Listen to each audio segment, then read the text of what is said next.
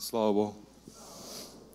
Пусть за окном бушует ветер, в душе моей всегда тепло, и даже в самый темный вечер на сердце мирно и светло. Покой небесный мне дарует Иисус Христос своей рукой, и в жизнь мою Он посылает для утешения Дух Святой. Со мною рядом Он в дороге, как верный друг в пути земном. Я с Ним не чувствую тревоги в Его присутствии святом. Пусть за окном бушует вьюга, в душе моей всегда тепло, ведь я имею в жизни друга, дружить с которым так легко. Он мой наставник, мой учитель, с которым я делюсь во всем.